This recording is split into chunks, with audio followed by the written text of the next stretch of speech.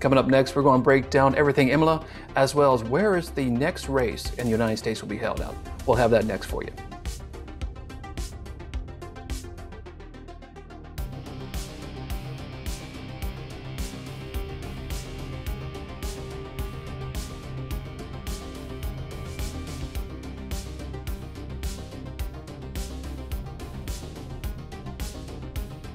Hey guys, welcome in. On behalf of Chaz Day and the Mike Allen, I'm Brock Young, welcoming you into another edition of the F1 Starting Grid. And guys, just one question right off the bat. Did y'all survive the weekend? Oh yeah, absolutely.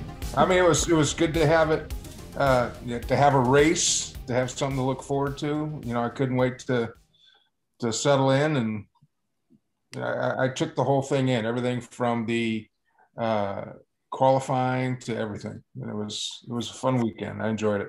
Awesome. And before we get to the big news item of that race, I want to break down who what the starting order was. We have Max finishing, then uh, right behind it, Lewis came out from all the way from 10th to finish in second place. Lando Norris had a great race here, finishing in third. The two Ferraris finished back to back in fourth and fifth. We have Daniel Ricciardo and the McLaren also finishing in sixth. Pierre Gasly had a strong finish in seventh with his AlphaTauri Honda. Lance my Stroll, boy. Lance Stroll and the Aston Martin Mercedes in eighth. Two, the two Alpines finished in points, ninth and tenth. Pierre Gasly, I'm sorry, I'm mix that up right there. Sergio Perez finished just out of points in the Red Bull Honda at 11th. 12th is Yuki Tsunoda in the AlphaTauri Honda. Kimi Raikkonen and Antonio Giovinazzi finished in 13th and 14th, respectively, with their Alfa Romeo racing team, as well as the two Haas's finishing 16th and 17th, and the three teams that did not finish, or three drivers that did not finish, I should say. We have Valtteri Bottas in the Mercedes, George Russell in the Williams, and Nicholas Latifi for the Williams. Mike, I'm sorry, this was not a good week for the Williams. Um, but one thing I do want to talk to you, since we have a Mercedes guy, we have a Williams guy. I'll just say this right off the bat. I'm not going to read his whole entire quote, but uh, George Russell came out on Monday saying that the wreck was his fault. And no he, shit. he apologized to his teammates. He apologized to Valtteri. Um, and apparently, Toto Wolff had a private meeting between both of them, and everything pretty much is worked out. But said before, we have a Mercedes guy, we have a Williams guy. I want to get into this a little bit. So, Chaz, I know this is going to be short and sweet with you. Uh, your take on that wreck? No shit.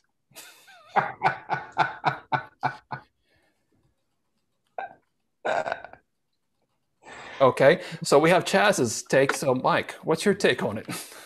Well, I was kind of busting Chaz's chouse, but George tried to fit his car where where it couldn't fit and went on a blind side, and, you don't do that in racing.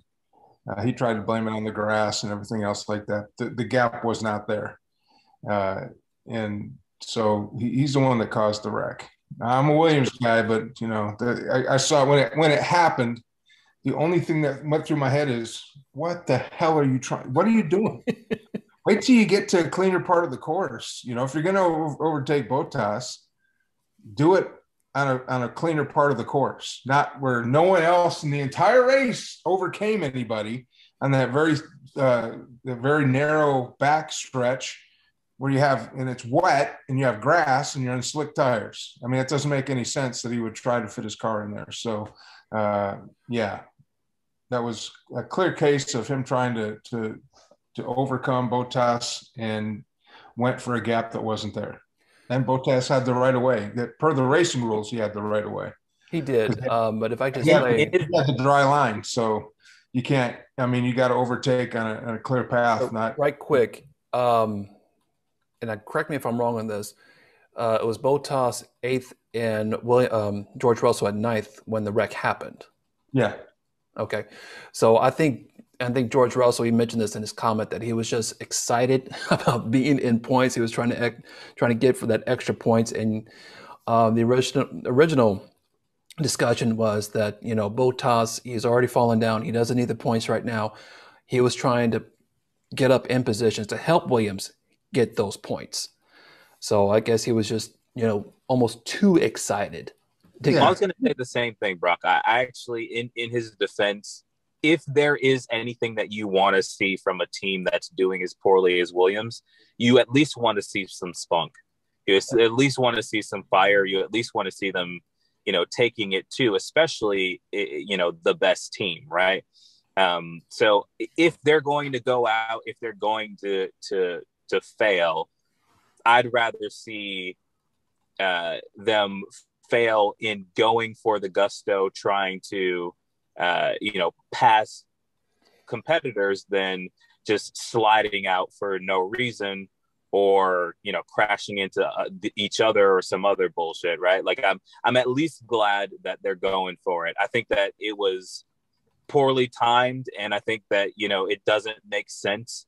It, it, it shows a little bit of a lack of awareness because you're trying to because of who you're trying to pass. Like you're, you're trying to pass a mercedes and have you forgotten what car you're in right like you like so i don't i don't even know what you were thinking but i mean if you are going to take any sort of positive out of this i would take the fact that they are still fighting as a as a positive takeaway and and they have improved from last year. I mean, for the second race in a row. I mean, this time both Williams, I think, made it into the top fifteen, if I'm not mistaken. I know George did definitely, yeah. and uh, he almost made it into the top ten. He was a fraction of a second, and again, he was right there at P11. So, uh, you know, you, you, they're improving, and I think Chaz is right. I think there's a little youthful exuberance. He got excited.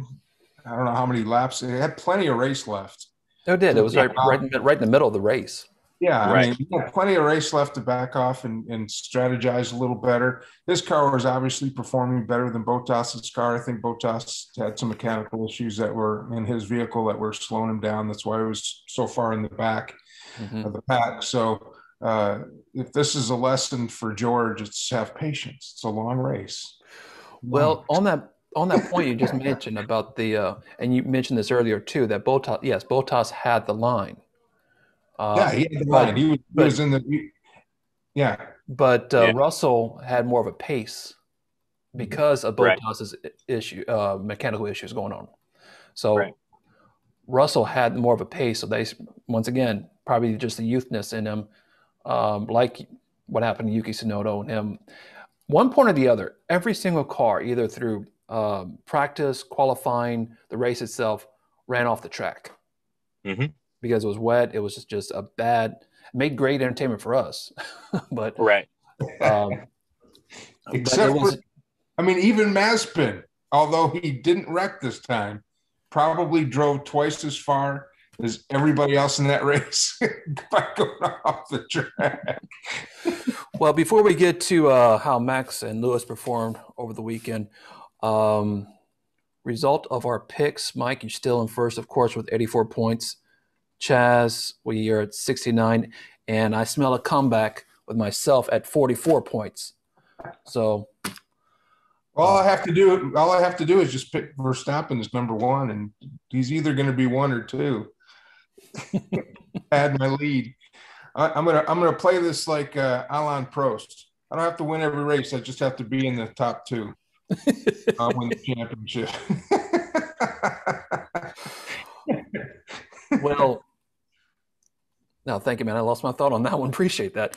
Actually, no, um, the standings right now, we have Lewis is still in the lead only by one point because he had the faster lap, the fastest lap out of Imola.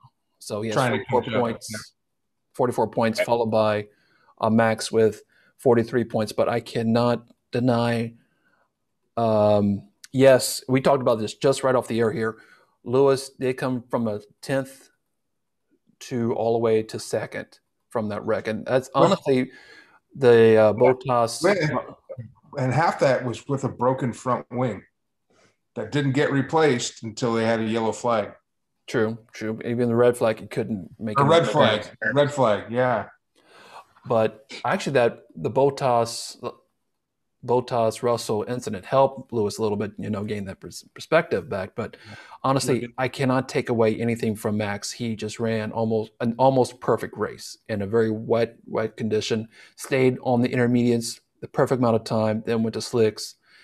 Um, and if I'm not wrong, he beat Lewis by 22 seconds, even oh, though yeah. Lewis, Lewis yeah, was yeah. in traffic. He Lewis was, was in traffic, but um, Lando We'll get to him in a minute. He was trying to push the McLaren as much as possible to beat Lewis, but Lewis just had a faster pace behind that. But what do you think about uh, that performance from Max there, Mike?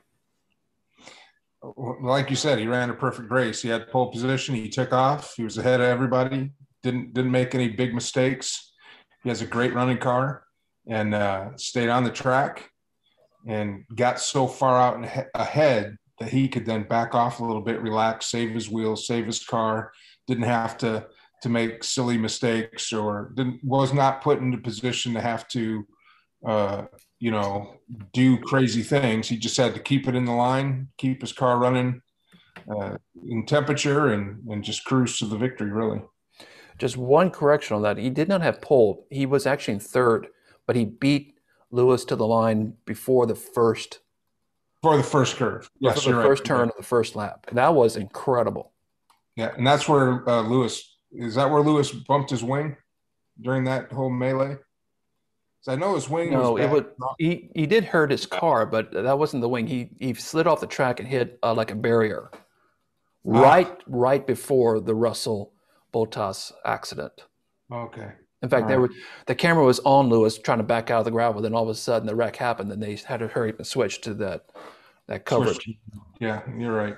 Um, but Chaz, what do you think about both Max and Lewis's performance over the weekend? So, I, a lot of people have been talking about it um, easily over the last like couple of years. Definitely uh, since the beginning of this year, especially after the first race um, a lot of people are just talking about how like he's just a champion. Like he, he just is. I, I, I don't know that Lewis has had a, a more real challenge. I know we've been kind of alluding to it, but I don't know if he's had a, a more real challenge than uh, what's coming this season.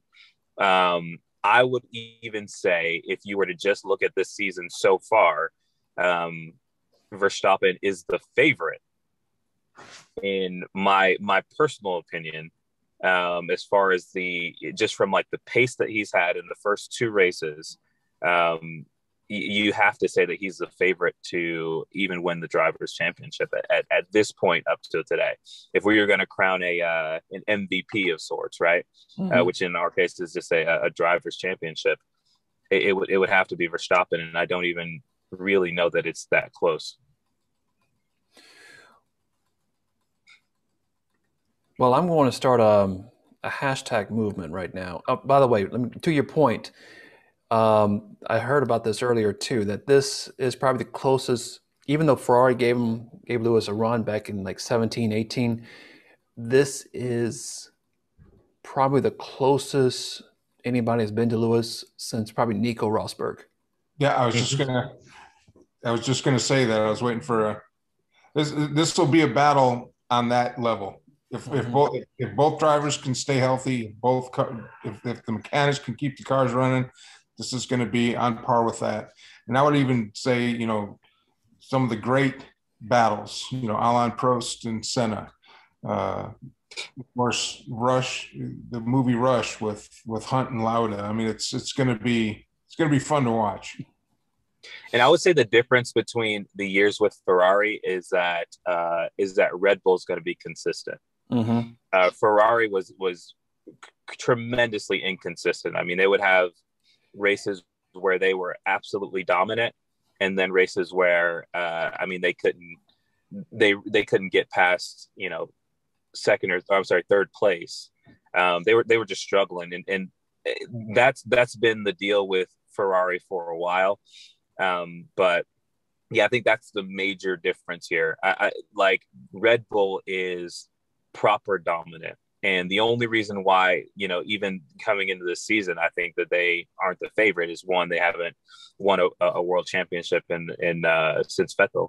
Um, but uh, but also, um, it's uh, it's just a perception thing, right? Like if you were, you know, Las Vegas odds makers, you know, you just you just wouldn't rate them as high as you would Mercedes. But I mean, if you were just going purely on on mechanics and engineering, I mean, gosh, dog it. Like their car, uh, their car and and and driver combos is just super strong. Uh, I, I, mean, their their driver combo to me is is better than than Mercedes. I don't, I don't even think that's. I don't think anybody's debating that. Um, but uh, but but the car too, man. They're they're really really fast. Now, we said this many times before. Um, Mike and I are under the impression that this is going to be Lewis Hamilton's last year, but just a little bit of me, just a little bit of me, just wants to have Lewis come back next season so we have more of a season between him and Max. Mm. And just have this exciting battle between the two. But I'm excited about this because this is what I wanted. I wanted a close race. I said this before the season. This is going to be closer than many years past. And I love that. Yeah. I just absolutely love that. So I'm going to Chaz, you're going to hate me, but I'm going to, and then maybe just like three people join this, but I'm going to start a hashtag movement, uh, hashtag ABM, anybody but Mercedes. Hey, what?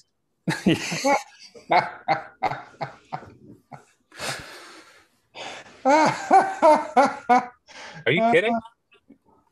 No, I'm going plaster that right, right on the screen right here. A B M. Anybody but Mercedes. Well, here's my here's my prediction. If if Hamilton wins the the drivers' championship, which you know, and I said at the beginning of the year it was his to lose. Now I'm thinking he's going to have a fight in his hands. But if he wins the if he wins the drivers' championship, he'll retire. If he loses out in a close, very very close battle between him and Max Verstappen, uh, you know, he he might come back for another year, maybe. Mm-hmm. But there's really nothing more other than beating Schumacher's all-time driver championship streak. Right. He's got which I mean, you might as well. yeah, I mean, well. you might as well. Yeah, exactly. But he, uh, but if he just if he if he bows out, if something happens with the car, if he gets sick, if you know Mercedes takes a dive and he just not even in the points or even close, he will be back next year. I think he, uh, but if he wins it this year, I think he'll retire. If he gets his number eight, he'll be done. It makes sense. I mean, who who else is going to beat you in the near future? Like they'd have to they'd have to accumulate the first seven first, right? right. like there's uh, so it's yeah, it, it's it's yeah, it's it's pretty a pretty convincing thing if he can do. If he, I feel like he has a better shot of coming back if he doesn't win this year, because then he then he will have something else to prove. Yep. And um, and and Brock, if you do decide to do that ABM hashtag, uh, that's fine. I, I will also start a, a, hashtag. It will also be ABM, and it'll just stand for. Uh, Yeah, and I'll, I'll pair it with yours, so you can have anyone but Mercedes, and I'll just have that that's a bad motto. So we'll just you know what it'll, it'll create a movement. So we'll see, you know. ABM ABM. well yeah, well I'm going to have a hashtag that says hashtag Williams is 9 car crashes away from points. Can you shorten that a little bit? No, no. Nine is the number. They can't shorten it. oh, that's priceless. Uh, that is priceless. I love it. Um, but guys, let's move. Let's move on here for a little bit. But what about Lando? I was so surprised. I would think that um, maybe even Charles, player in orange well, it, and you know, Lando, uh, I think he was having problems in the end with his tires, and that's why he was so. having a hard time holding off Hamilton. Had he yeah. had done 100%, he might have been able to get a little bit of a gap there and, and take P2 because he fought back. Yeah. Well, both the McLarens fought back. So, I mean, uh, it's exciting to see some some historic teams finally get in the top 10. And it was nice to see for our, you know, I'm not except a, for Mercedes uh, Williams. but yeah, but I get your point. I get your point. Their day will come eventually, sometime. They, I don't know. Yeah, I think they should partner back up with BMW because that's when they had their best years. Is when they were, was when BMW was their power plant. But yep, right now they're just this, really they're just Mercedes second team right now. So I don't think, uh, and it's you know the Williams family isn't involved in it. Well, they're involved on a, uh, a token through their name. They're getting paid for the name, but, but the entire Williams family is retired uh, from from F1. To your, to your, point, Mike, I actually think a Mercedes uh, would do better than a Williams right now. Uh, I mean, and and literally any Mercedes, like a Mercedes X5 on track, would probably finish higher than a Williams right now. A full size. I couldn't. I couldn't hear. You, you're breaking up. It was all got fuzzy. I didn't. No, I was just saying. I, I, I, I agree. I think you're absolutely right. Our day will come. We will rise from the ashes. You to will. be fair, Chaz, though, they did. Fit, if they didn't wreck out, they would have finished higher than Haas.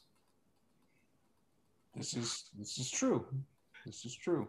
They would. Uh, I mean, they, that's that's the place that they're they're in. It doesn't mean that that's where they would have finished. It, and and and thank God for Zak Brown representing Americans well in in Formula One, because Haas, I mean, trash. Yeah. At least I, they finished. at least, at least they finished. All right. All right. Well, we're. I guess. I guess we're. uh We're setting the bar that low. Yes. for for this year, yes. but back to uh, McLaren with. Uh, they, uh, do they get a pin for showing up too? Every every every time Williams, every time uh, Williams and Haas shows up, they're just gonna give them a pin. Right, hey, Guta wouldn't. Hey, been, Guta would not Williams curse that much. Almost breaking into the top ten in qualifying, so they're just right there. They're close. Give them, give them time. They got to do some improvements on their car. They got to move those chips around or whatever the hell it is, and then we just got to hope like like eight or nine cars wreck out. How much time do you think they'll need? Like like six to twelve I years? Think, no, I think by the end of the season they'll be mid midfield, strong midfield. Which season? Twenty forty two. No, this season.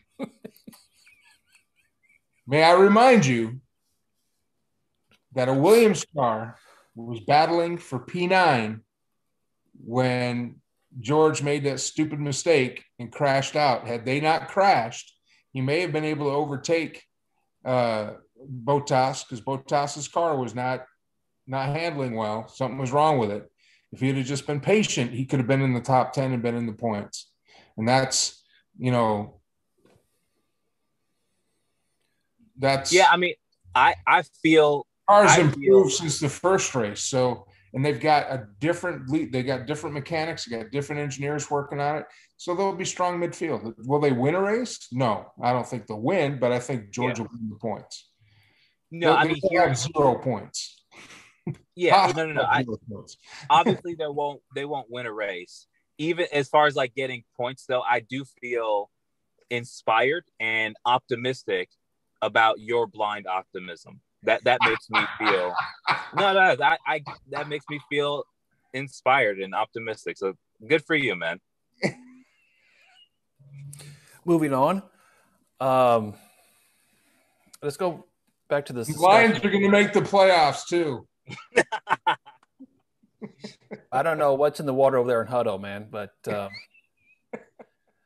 anyway, let's um, let's talk about. I want to talk about this McLaren right quick and the fact that both, yes, y'all both said that uh, both Lando and Daniel finished strong, but in it, it's just been two races. But it seems like Lando is getting the best of this McLaren, um, even though this is Daniel Ricciardo's first year with McLaren.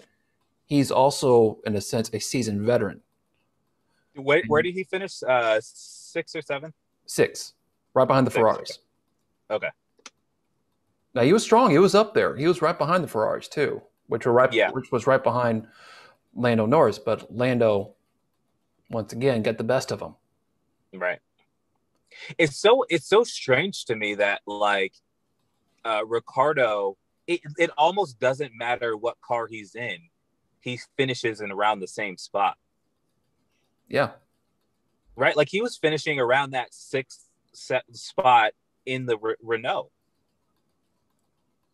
And towards the end of the career in, in Red Bull as well. Right. I, I I don't know what I don't know what that is, but it almost doesn't matter what car he's in. I guess he's just proven to be a good mid-tier driver, upper mid-tier driver. I mean, he's a really good he's a really good driver, but he's just not that world champion material. So, I could so be do you- wrong. So do you think Lando was sitting at P two going, "Oh my God, I got to get a couple cars to get past me here before the end"?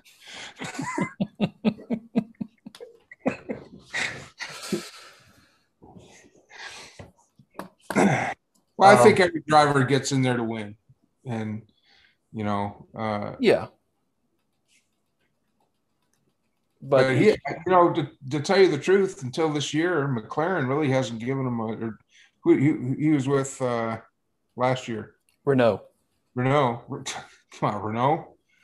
I mean, Renault Renault didn't, Renault didn't give him a good car to run in, and Well, Renault was pretty strong. I mean, they fin- finished higher. I think what they finished fourth last season, behind McLaren, fourth. fourth or fifth. Uh, Fourth. they they finished fourth.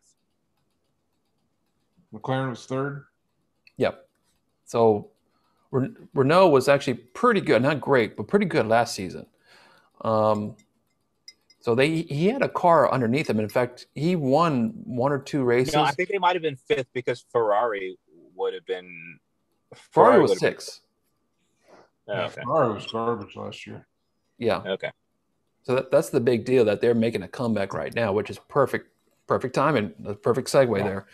Um, and and I'm glad they are. I mean, they're kind of they they're kind of the New York Yankees of the F1 world because they dominated for so many years. Well, they're expected to. I mean, you look at every other team there. You got Mercedes. Um, I'm talking about um, the power units, the structure of teams of the power units. The Mercedes, the Hondas, the Renaults. They have their main source of income and their main priority is selling cars. Ferrari was built and still is to this day is dedicated to racing Formula One. So the yes, they're expected to win. Um, And they and they do. I mean, they're pretty dominant in uh, uh, other races, yeah, like Le Mans. They do real well. Uh, what's the other one? The sports car race name slips my mind. but they do. Yeah, they do pretty well. But and they're performing much better than they did last season. Fourth and fifth, um, to be honest. On yes, you could call it their second track because uh, Monza's not too far away. Uh, 4th and fifth in the wet wet weather is very respectable for Ferrari, and they're in fact in the constructor points right now. They're only seven points behind McLaren right now. Which between Red Bull and Mercedes is a fight. Now we also have a fight between McLaren and Ferrari. Once again, an exciting season. This is what I wanted, you know. This is what, every fan wanted, you know. So Um, Ferrari has uh, 16 constructors titles. It's the most of any other constructor. And guess who's number two? Williams.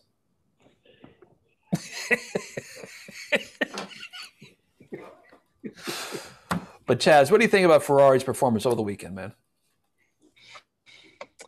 Um, I I think that considering what they're working with, I I, I definitely feel I feel good for Ferrari fans, right? Like I feel like uh you know this season is shaking out to uh to be better than expected. I know we've talked about it a few times, so um yeah, I, I feel good for them. Good for good for them for like figuring it out, uh, at least being able to put together a season that has some semblance of, you know a victory that you can walk away with like even if it's just kind of a moral victory of like hey you know we don't have a, a car that's abs- you know absolute trash um it's just kind of like you know like hot garbage. Um he looks good standing still. Absolutely. It looks great standing still. Absolutely. Well um mike i want to get your opinion on this because you had them second to last in your constructors. Uh, alpine finished ninth and 10th both in points. What do you think about that they're gonna have to make some adjustments. I mean, it's they're mid they're mid pack. I don't see them making a run at the top five. Well, no, but they they're fin- they're doing better than what you expected because I think you had them in the um, second to last on your. Yeah, I had picks. yeah because I had Williams above them and I had Haas and them in the dead last. You're right. Yeah, that's one of the surprises. I also had McLaren in midfield. Stuckey also had a, had a, a, nice comeback after he uh, after he spun out.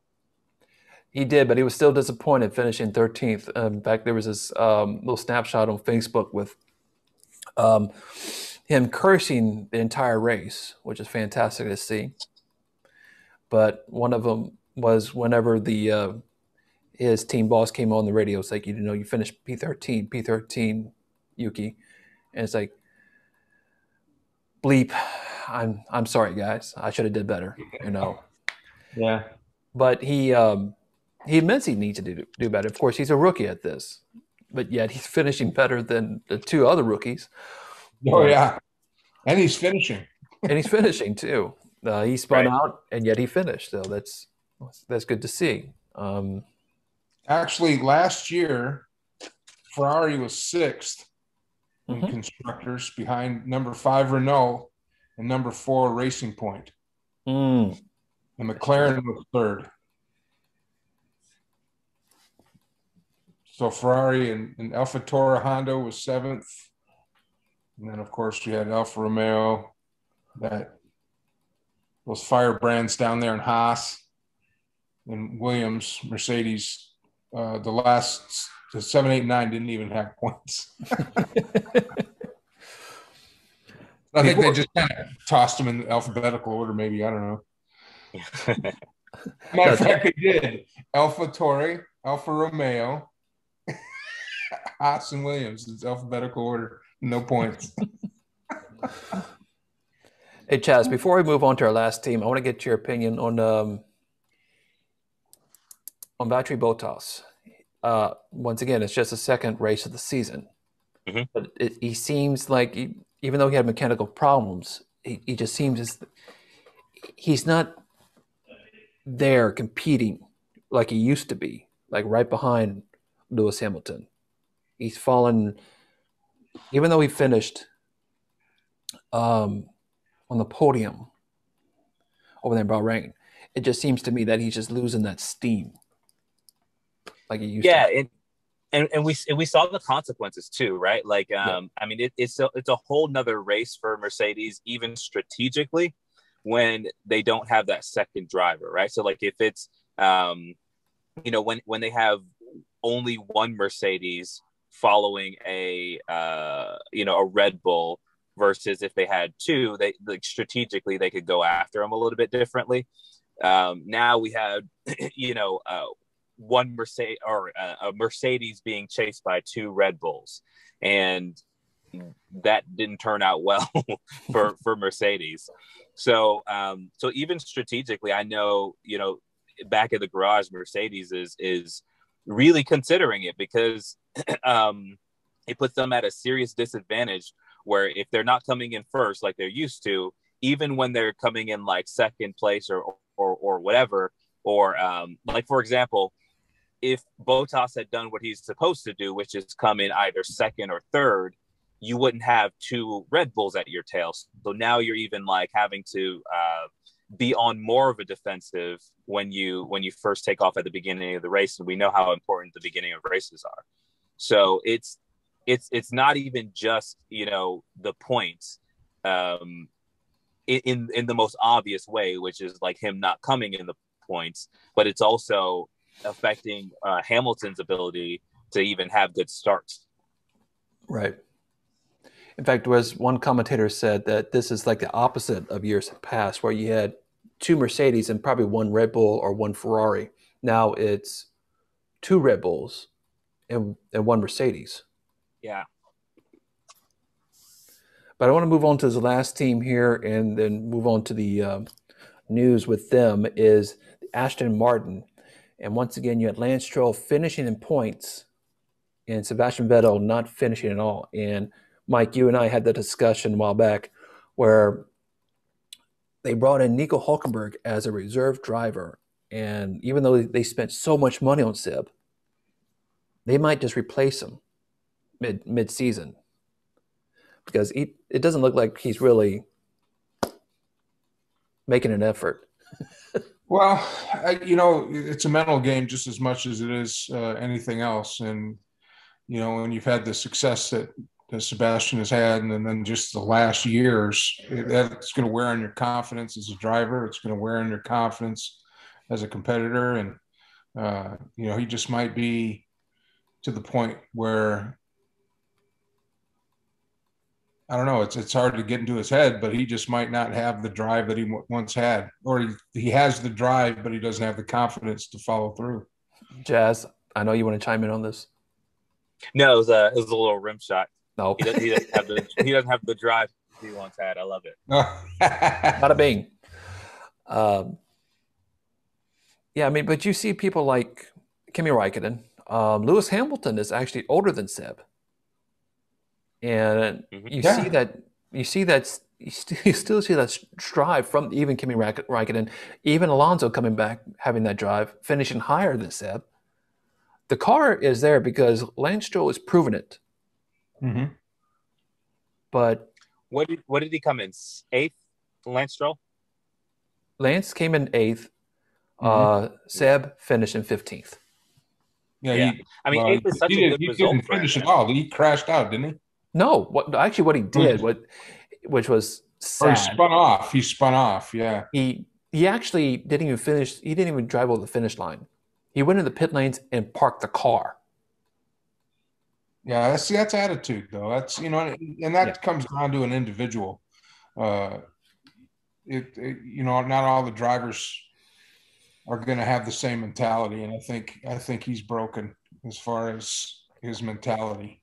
Mm-hmm. If what what do you guys think about this? I feel like it might be different for for champion drivers because like if you're a championship driver, right? Let's say you're a driver who's won a world title. If you don't win another world title, what are you driving for? And I'm not even saying that from like a fan's perspective. I'm saying that from uh, from the driver's perspective, right? So like um, take an Alonso, take a Sebastian, right? If if they don't win another title, this season for them doesn't change anything as far as their legacy is concerned. Maybe, I mean, they get a few more points, but as far as their legacy is concerned, it's not going to change anything. They're still going to end their career with the same number of titles that they had. So it's really just kind of like driving for money. And then if you're driving for money, it's literally a job. And I think that might be even what you're seeing on some level. You're they're treating it like a job, or at least Seb is. Well, to that point, I think probably someone like Alonso wants the thrill for it. Um, and honestly, you got to ask the question that to the drivers themselves. I mean, we could ponder it all day long, but like for someone like Kimi, who's been at this for almost 20 years, um, he is just under my age, honestly, and he's still going at it. But he, I've I don't know if it's something that he just wants to have like a record book of the most starts and finishes or the most starts in a race or something like that. I don't know. But it is just it is something that has to be, you know, and once again it also could be just like the drive. He just they just want to race. They want to be behind the steering wheel of that car. Or as you kind of pointed out. With with Alonso, I could see that a lot more. I could see like I could see it being a, an identity thing for Alonso. I mean, not to get too much like you know in people's heads or like making up shit, but like I don't know, like Alonso, like it, it feels like he would be the kind of guy that has been a driver has all his entire life been known as a driver his entire life, right? Like, um, like since he was a kid, he's been the best guy. Mm-hmm. Uh, you know, whereas Vettel, on the other hand, he's just a he's a he's a different animal. I, I, I feel to some extent like it was the right place, right time. He's a great driver. That's that's not debatable, and, no, and nobody would debate it. Um, but he was also in the best car at the time. Um, so it, it's it's it definitely doesn't change anything. It is definitely not an asterisk on his on his career or anything crazy like that. Um, but I think it might explain a little bit of why, um, you know, when he went to Ferrari, it wasn't wasn't quite the same. And and the team that he won his championships with with was Red Bull. So, right. Should have stayed with Red Bull. should have. and all this. Ferrari in a bad time too. I mean, that, that's and again, it just his his confidence might be eroded at this point. But if you have the chance to go to Ferrari, I mean, you kind of go to Ferrari. Yeah. Well, exactly. I mean, if you have, it's, it's like anything else. It's if you're in baseball and the Yankees call, you go. Yeah, even yeah, though they suck, we go. Uh, the, the Yankees, though, you know. the Yankees, you know, that's Ferrari. You know that those are the top teams of their sport. You know, they got the backing, and the money, and I don't know. Well, we got some more bad news for uh, Aston Martin. Apparently, they're trying. They they seem not to downplay it as much now, but I'm trying to read this right here. As far as uh, Aston Martin could take F1 to court over this. This is absolutely ridiculous, in my opinion. But Aston Martin's team principal has refused to rule out taking the FIA to court due to regulations changes that have severely hindered them and their team and Formula One champions Mercedes this season. A series of modifications made last year have reduced the downforce available from the rear floor, which has harned the teams with low rake cars, including Aston Martin. In other words, um, this was all decided last season of how they're going to rake the cars. In other words, how high the back wheels place on the back of the car. See, Red Bull right now is having a fantastic season because they're a little lower to the ground. They have don't not much more downforce. Actually, I'm sorry, Red Bull is actually a little higher. Both Mercedes and Aston Martin a little bit lower, so they had to play with that downforce, and they're having a hard time doing that. So that was all settled last season. But now they want to change the rake, which they cannot do during the season. But they want to take the FIA to court over this. This is, I mean, what, well, what does that guess, do to a team mentally? well, I guess the question is why is it only affecting those two teams? Why isn't it across the board? Because if it's a, if it's a regulation, it should be followed across the board. It means every car out there has the same restrictions to it. Well, they could play around with it, but once the season starts, you can't do it. See, I said before, Red Bull has a little higher rake at the end of the car than yeah. Mercedes, than Aston Martin, which was fine, which is an FIA regulation. But once the season starts, Red Bull can't fix it. If they have problems like mid-season, they can't fix that. But now Aston Martin wants wants to fix that. Now they there's a little quote from Toto Wolff on this that he agrees with Aston Martin, but they, they're not going to take the FIA to court. Mercedes is not. But it is, I don't know, it's just a, a ridiculous. I mean, it just came out uh, earlier about this. So I think this is something we need to talk about. But uh, once again, this is just almost, excuse my language, asinine on that part. And what does that do to a team mentally if you're saying, oh, we're going to sue? It's like, what if in your case there, uh, Mike, what if uh, the Detroit Lions sue, sues the NFL over you know grass regulations or the way the helmets fit because they that's the way they designed it. You making them play other teams. Make them play other teams. You know, what does that do to a team? What does that do to the drivers mentally? It's like uh, we have this other issue going on, but yet we have to concentrate on what's coming up next.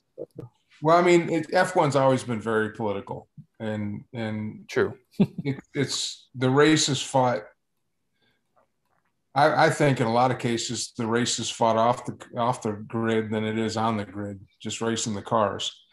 And this is something that drivers have commented on, and owners and team managers and the FIA. And if you watch any of the historical documentation concerning F1, it always comes up.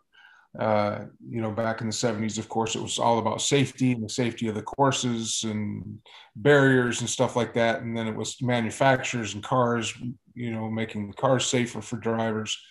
And, and now it's gotten to the point now where I think the hair trigger is kind of like the hair trigger uh, tag that you can throw on something is it's for safety. So, you know, we're going to do this and this is this regulation, and they just throw that trigger word out there. Well, it's for safety. Well, if it's for mm-hmm. safety, then again, my question is why isn't it implemented on all the vehicles? Why is it just these two manufacturers that are being affected by it? And so that's I'd have to read up more on it. But if if Red Bull's not not required to modify their cars to meet these this regulation that apparently Mercedes and and uh, Alfa Romeo have to follow. My my question would be why? What was the thought process behind it? And now Alfa Romeo, and again, you know, Mercedes Hamilton's coming back from P10 to get all the way back to P2, so I'm not really sure if that's affecting the Mercedes cars as much. Uh, I think Alfa Romeo might be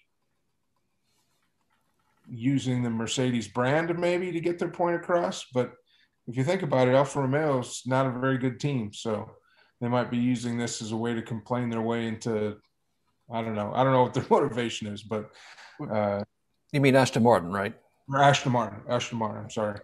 So I, I don't, I, I guess I'd have to I, I'm going to chalk this up to politics and behind the scenes stuff. Uh, certainly not bothering Mercedes as much as it, as it is bothering Aston Martin. And to be honest with you, uh, Aston Martin's about 10 car crashes away from points. So they're right there with Williams. Well, honestly, Lance Stroll has finished in points past couple races, but um, I think it's just an excuse for them trying to make up some ground that they quote unquote lost. So they're trying to make this big dust up about nothing, basically, but they're trying to make up something that they they could try to get like probably even Seb into points or something like that. But um, Chaz, what is your take on that? Are we seeing are you seeing something different?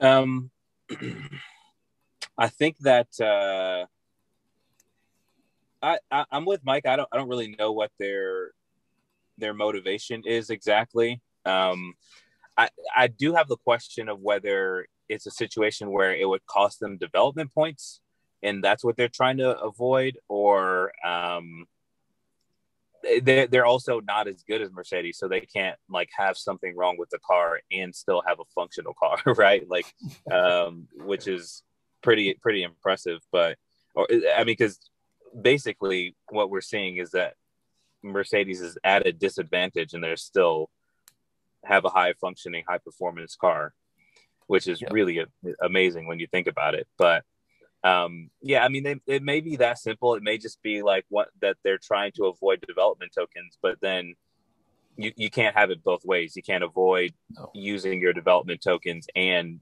uh, still try to get, you know, tr- try to sue the FIA in order to uh, to get the regulation changed. It it just doesn't work that way. Before we move on to our last topic, which I'm really excited to talk about, I want to ask you guys what is your biggest takeaway from this past weekend? Chaz, to start with you, man. Hmm. Um, I I haven't felt this way before. Um, I haven't probably felt this way in the last, I don't know, six, seven years. But uh, I legitimately feel like it is 100% not just possible, but erring on the side of uh, of likely that uh, Mercedes does not win the drivers' championship. Hmm. That is a bold statement from you. Wow. Yeah. Mike, what do you think? Uh, what's your biggest takeaway from this past weekend? Uh, just the surprise of McLaren and Ferrari being as strong as they are, and uh, and getting excited about them getting in the mix really to kind of disrupt everything there at the top. I think, uh, uh, but I'm with Chaz. I think this is if if, if Hamilton is going to get beat before he retires, this is the year that he might fall. But hmm. it's not. He's not going to give it away either, which is going to make everything so exciting because him and Verstappen are going to go wheel to wheel all the way down to the. Yeah, I would not be surprised if this comes down to the last race, and the winner of the drivers' championship will have to win the race which I was pretty I was pretty upset about. I was upset about the beginning of the race, obviously, because that was like Verstappen is like he's just too he's just too wild, man. Like he he's just like I, I think I think he just pick his spots better. Like and, like there's just certain times, especially at the beginning of the race, like like dude, chill out. Um, when he ran him off the uh, when he ran Hamilton off the off the course, uh, it was really upsetting. But yeah, I, I don't know. I I I do think that they're really really fast. Verstappen is a force to be reckoned with.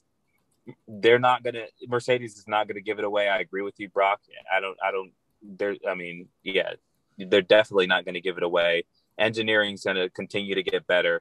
It just makes it really hard when you have Red Bull performing as well as they are, and you also have uh, a second driver in Mercedes who's just not showing up, right? Because I mean, we, yeah. for for as much as we you know we give Hamilton credit, we have to give the whole system credit, right? We have to give engineering credit, and we have to give credit to the fact that he's had a solid second driver for a lot of this, and he's benefited from being the number one driver of Mercedes. Uh, I mean, let's let's not let's not uh, you know mince words here. Bottas has played second fiddle, and and Hamilton's has benefited from it even within races.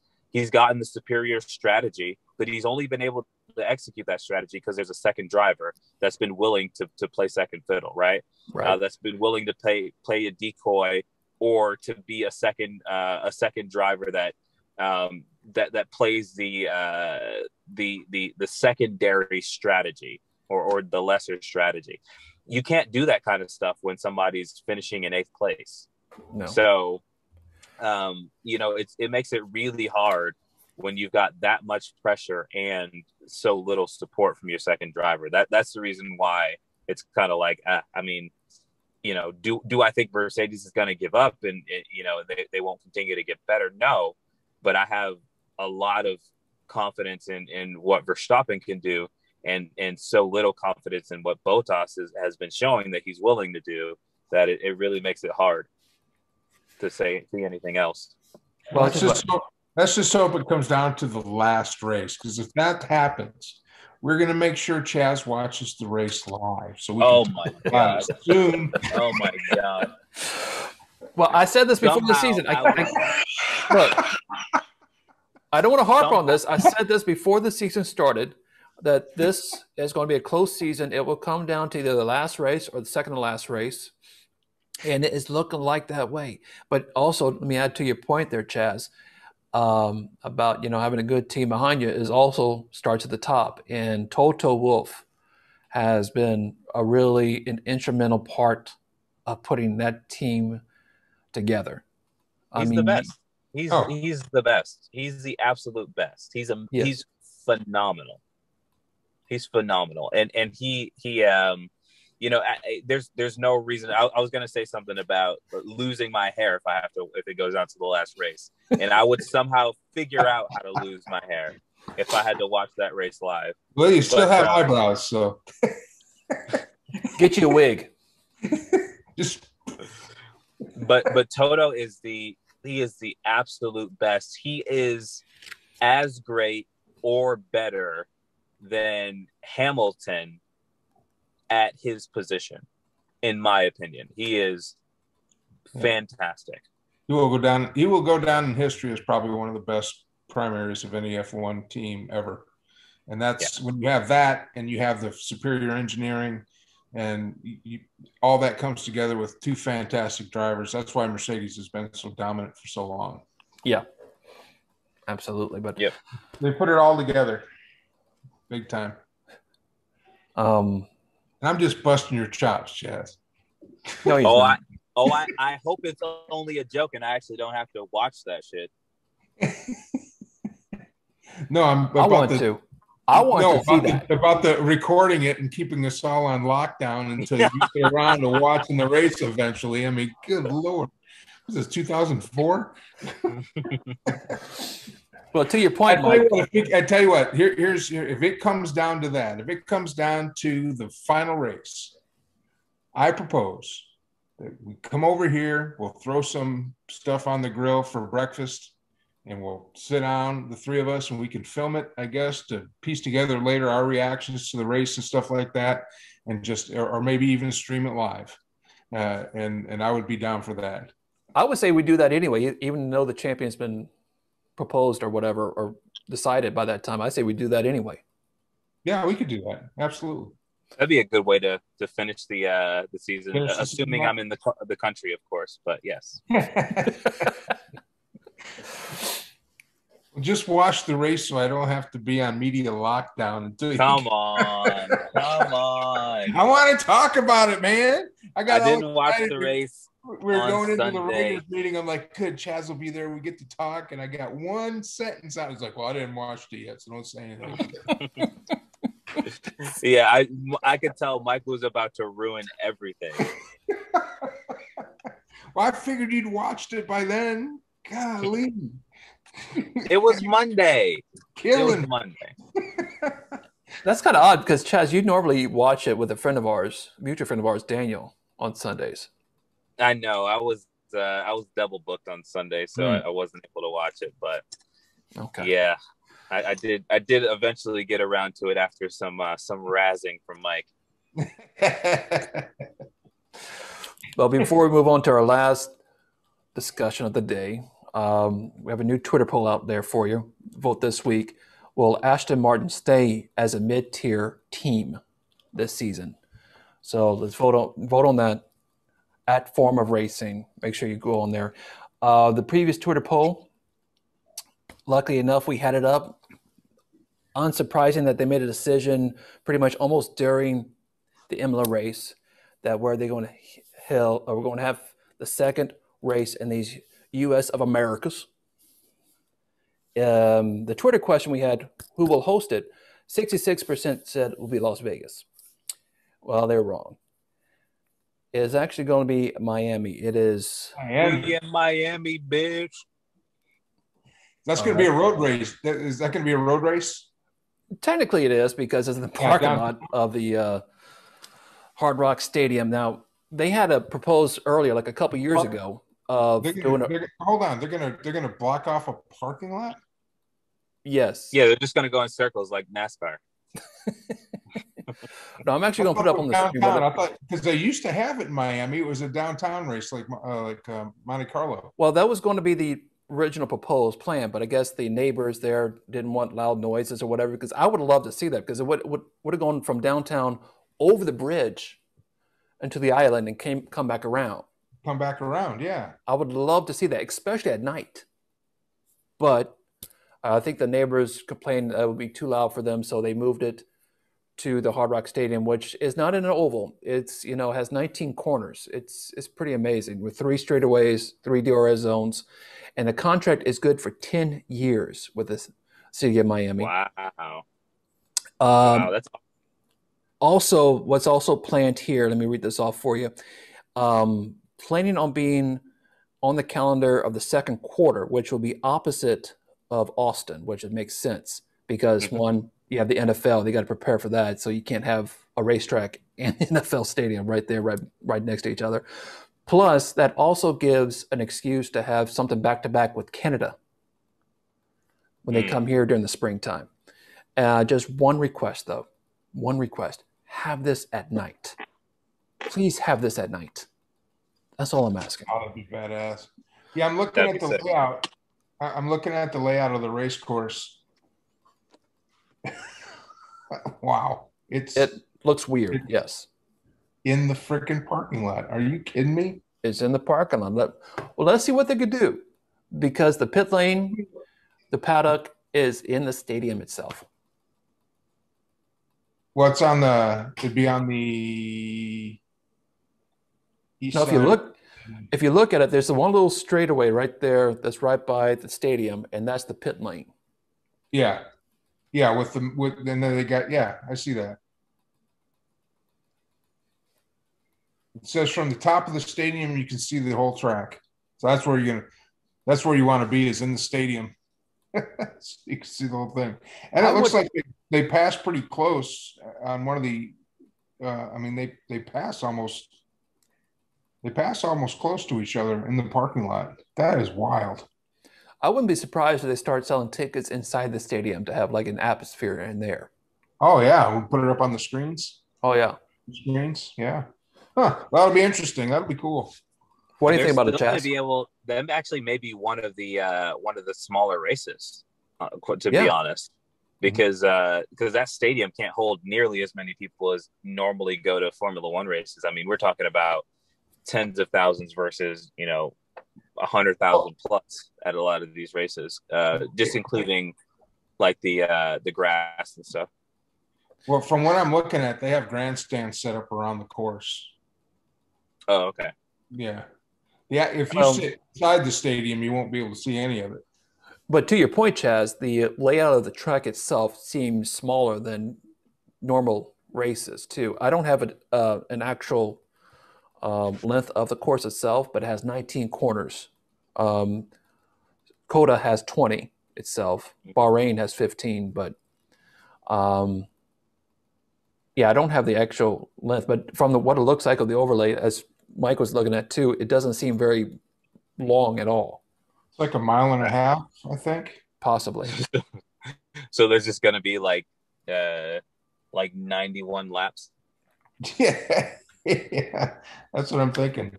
They don't really have a whole. I'm on F1.com and they don't have a whole lot. They got the layout, but it doesn't have too many.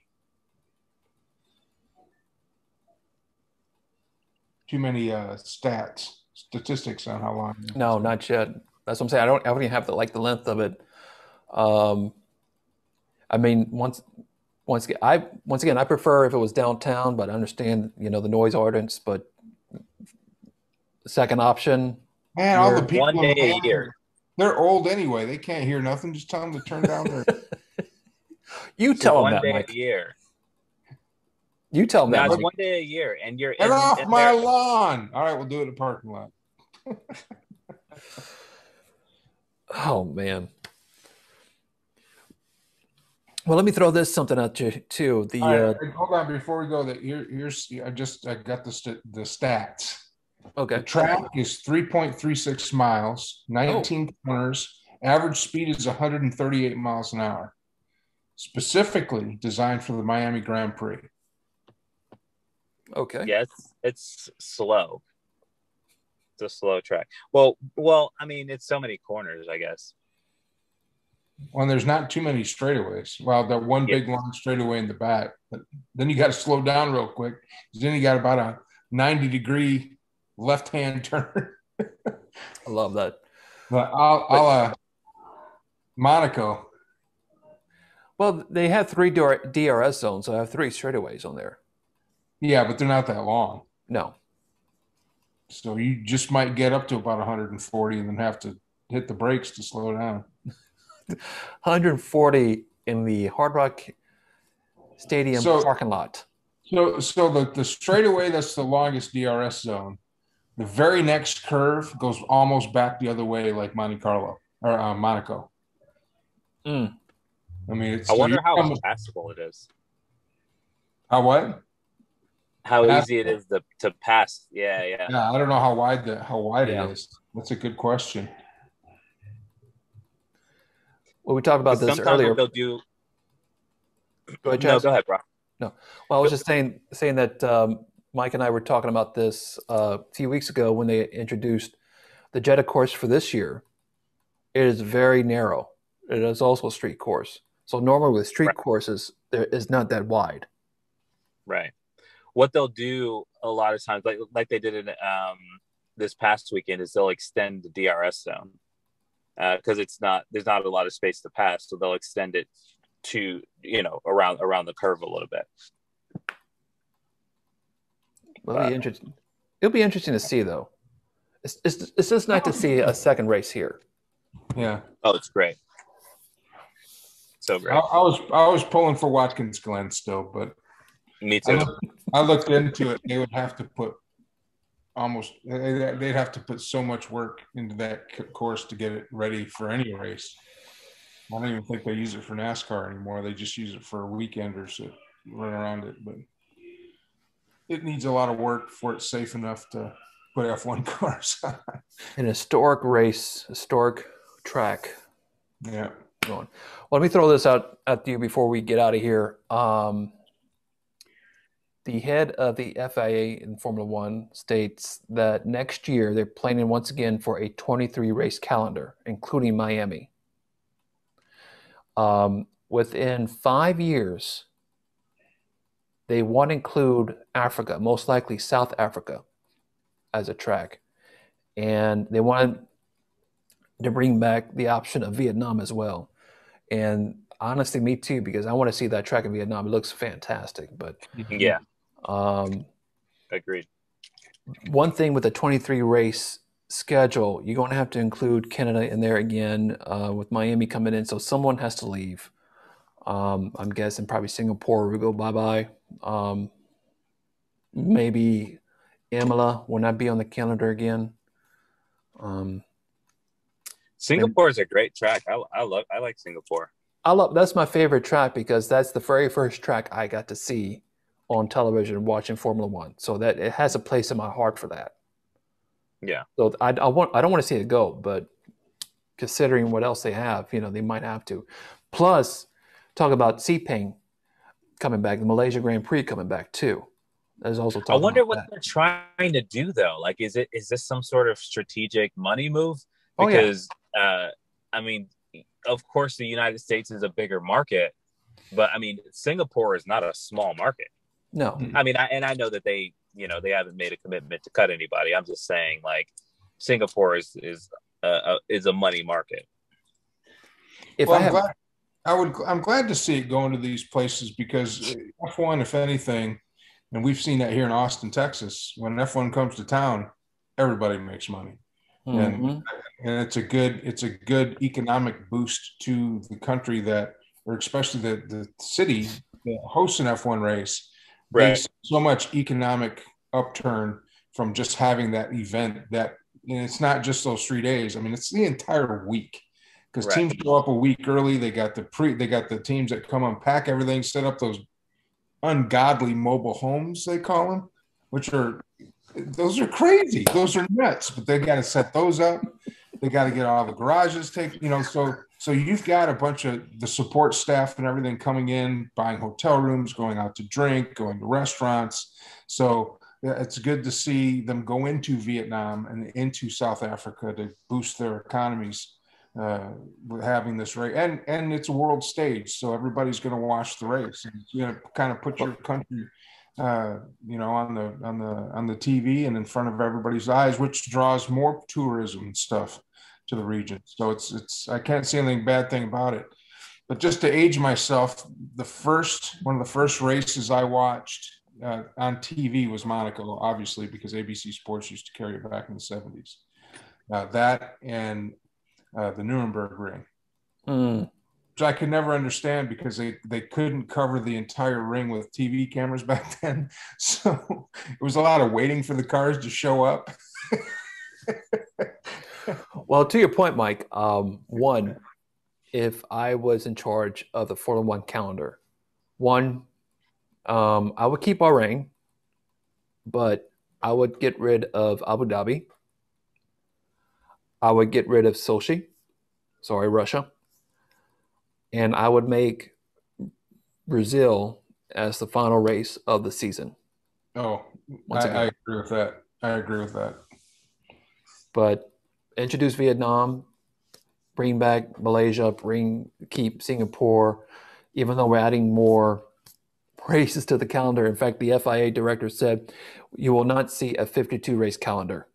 You will not see that, and you will not see again race races back to back on weekends like they did Well, last that's last year. yeah, yeah, that's tough to do just because of that support. I mean, they got there's so much that goes into just moving that the whole race from one location to another. They need a Mhm. couple of weeks to unpack everything and break it down, and then move it, and then pack it back up and put everything back together. So I, I can see that a fifty a fifty two uh, race season for us would be amazing, but I think you would have to have teams would have to hire two and three and four uh, companies to manage setting up at one place while you're finishing a race here and having the du- an exact duplicate of of what you have in the next race. That way you don't have to tear this down and move it in a week and, and then put it back up again. So uh, it costs kinda even like- more money. yeah, kind of like the Rolling Stones when they go on tour. You know, they do they go back to back cities, and I didn't know this until they came here. But they have five stage sets, and so they're setting up the next show while they're doing a show, and then tearing down a show behind, and then they have two extras in case something happens with the ones that are there. They can shoot those in real quick, and they hop leapfrog. Because I was thinking to myself, how the hell can they move all this stuff from here, and then in three days you're going to be in Atlanta? well that's how they do it and so they, right now it's just such a logistical nightmare to move one team from you know imola to wh- where's the next race Uh, Portugal. portugal week- so they got to move everything that they had in imola they got to break it down pack it up get it into shipping containers and then get it to portugal on a boat or a plane or however the hell they get it there but that's that's a that's a huge logistical thing to do so yeah Yeah. i can see every two weeks i, get that Yeah, that's understandable. Um, I'm glad another 30 or 23 race season next season, though. We'll see. By the way, Mike, no uh, Murray Walker quote of the week this week, huh? I didn't catch one i didn't catch didn't one either. i was listening i watched i actually watched the race twice Before I could watch it once.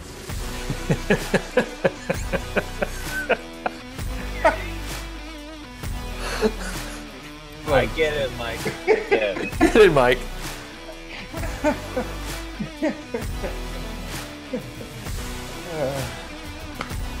that seems like something good to end on Well, thank you for joining us. Uh, remember our Twitter question of the week Will Aston Martin be a mid tier team by the end of the season? Also, please like, share, and subscribe. Follow us on Twitter at Forum of Racing, also the same for our Facebook page, and join the conversation. We would love to have you. The Forum of Racing at gmail.com. Give us an email, give us a topic, what you want to discuss. So, um, until next time, we'll see you right here on the F1 Starting Grid.